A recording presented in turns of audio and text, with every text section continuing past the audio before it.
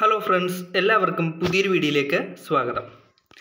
Plus two level preliminary എക്സാമിന്റെ രണ്ടാം ഘട്ടം ഇന്ന് കഴിഞ്ഞിരിക്കുകയാണ്.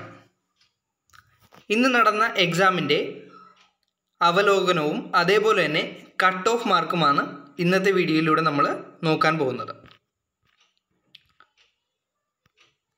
ഇന്നത്തെ ചോദ്യപേപ്പറിന്റെ ഒരു പ്രത്യേകത സിലബസ് അധിഷ്ഠിതവും നിലവാരം ഉള്ളതുമായ ചോദ്യങ്ങൾ അടങ്ങുന്ന ഒരു ചോദ്യപേപ്പറായിരുന്നു ഇന്നത്തേത്. പി എസ് സി ഒരു സിലബസ് പ്രസിദ്ധീകരിച്ചിട്ടുണ്ട്.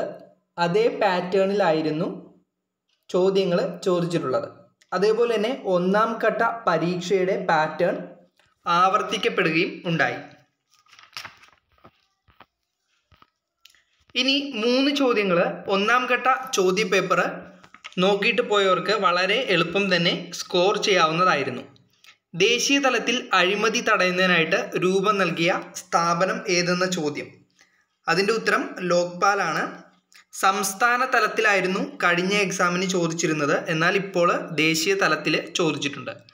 അതേപോലെ തന്നെ ഇന്ത്യൻ ഭരണഘടനയിലെ ഹൃദയവും ആത്മാവും നിർദ്ദേശക തത്വങ്ങൾ ഏതു ഭാഗത്താണ് ഉൾപ്പെടുത്തിയിരിക്കുന്നത് എന്നീ ചോദ്യങ്ങളും കഴിഞ്ഞ ക്വസ്റ്റ്യൻ പേപ്പർ നോക്കിയിട്ട് പോയവർക്ക് വളരെ ഈസി ആയിട്ട് എഴുതാൻ സാധിക്കുന്ന ചോദ്യങ്ങളായിരുന്നു. ഇനി ജി കെ വിഭാഗത്തിൽ അൻപത് ചോദ്യങ്ങളാണ് ആകെ ഉണ്ടായിരുന്നത്. അതിൽ മുപ്പതോളം ചോദ്യങ്ങൾ നന്നായി തയ്യാറെടുത്ത ഒരു ഉദ്യോഗാർത്ഥിക്ക് വളരെ ഈസി ആയിട്ട് സ്കോർ ചെയ്യാൻ സാധിക്കുന്ന ചോദ്യങ്ങളായിരുന്നു. ഇനി കണക്ക് വിഭാഗം എടുത്തു കഴിഞ്ഞാൽ പി എസ് സിയിൽ സാധാരണ ചോദിക്കാറുള്ള ഭാഗങ്ങളിൽ നിന്നും ചോദ്യങ്ങളാണ് വന്നിട്ടുള്ളത്. മെന്റൽ എബിലിറ്റി ചോദ്യങ്ങളും സ്കോർ ചെയ്യാവുന്ന ടൈപ്പ് ചോദ്യങ്ങളായിരുന്നു. വളരെ മികച്ച രീതിയിൽ തയ്യാറെടുത്ത ഒരു ഉദ്യോഗാർത്ഥിക്ക് പതിനഞ്ച് മാർക്ക് ഈസി ആയിട്ട് സ്കോർ ചെയ്യാൻ സാധിക്കും. അടുത്തത് ഇംഗ്ലീഷ് വിഭാഗമാണ്. ഇംഗ്ലീഷിൽ നിന്നും ഗ്രാമർ ചോദ്യങ്ങൾ P S C pattern follow ചെയ്തിട്ടുണ്ട്. വൊക്കാബുലറി സെക്ഷൻ അല്പം പ്രയാസമായിരുന്നു. ഇരുപത് ചോദ്യങ്ങളിൽ പന്ത്രണ്ട് മുതൽ പതിനഞ്ച് മാർക്ക് വരെ സ്കോർ ചെയ്യാവുന്ന തരത്തിലാണ് ഇന്നത്തെ ചോദ്യപേപ്പർ ഉള്ളത്. ഇനി മലയാളമാണ്. മലയാളത്തിൽ ശൈലി ബഹുവചനം സമാനപദം ശരിയായ വാക്യം അർത്ഥം എന്നീ ഭാഗങ്ങളിൽ നിന്നും ചോദ്യങ്ങൾ ചോദിച്ചിട്ടുണ്ട്. ഒരു ഉദ്യോഗാർത്ഥിക്ക് അഞ്ച് മുതൽ എട്ട് വരെ സ്കോറ് ചെയ്യാൻ സാധിക്കുന്ന ഒരു ക്വസ്റ്റ്യൻ പേപ്പറാണ് മലയാളത്തിൽ നിന്നും ചോദിച്ചിട്ടുള്ളത്. ഇനി നമുക്ക് ഓരോ തസ്തികയുടെയും കട്ട് ഓഫ് എത്രയെന്ന് നോക്കാം. ഒന്നാമത് നോക്കുന്നത് സിവിൽ പോലീസ് ഓഫീസറാണ് പതിനാല് ജില്ലകളിലെയും ജില്ലാതല നിയമനമാണ് സിവിൽ പോലീസ് ഓഫീസറിന് നടക്കുക. ഇനി ഫിസിക്കൽ ടെസ്റ്റും കൂടി നടത്തേണ്ടതുണ്ട്.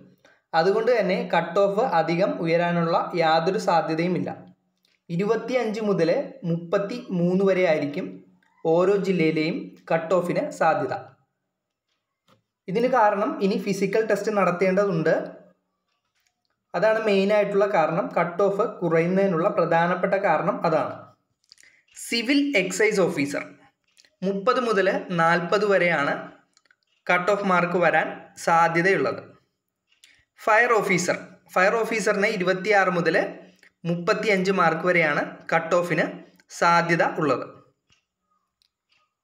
ഇത് എൽ ജി എസ് അല്ലെങ്കിൽ എൽ ഡി സി പോലെ ധാരാളം പേര് എഴുതുന്ന എക്സാം അല്ല. പ്രായപരിധിയിലും ലിമിറ്റേഷൻ ഉണ്ട്. അതുപോലെ തന്നെ ഫിസിക്കൽ ടെസ്റ്റും നടത്തേണ്ടതുണ്ട്.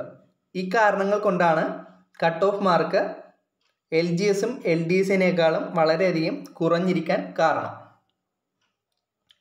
ഇനി മറ്റൊരു എക്സാമാണ് ലീഗൽ മെട്രോളജി ഇതൊരു സ്റ്റേറ്റ് വൈഡ് എക്സാമാണ് സംസ്ഥാന തലത്തിൽ നടത്തപ്പെടുന്ന ഒരു എക്സാമാണ് അതിന്റെ പ്രിലിമിനറിയും ഇന്നത്തെ എക്സാമിനോടൊപ്പം നടന്നിട്ടുണ്ട്. വളരെ ചുരുങ്ങിയ പോസ്റ്റുകൾ മാത്രമുള്ള ഒരു തസ്തികയാണിത്. അതുകൊണ്ട് തന്നെ അൻപത്തിയഞ്ച് മാർക്കിന് മുകളിൽ സ്കോർ ചെയ്തവർക്കാണ് മെയിൻ എക്സാം എഴുതാൻ സാധിക്കുക എന്നാണ് നിഗമനം.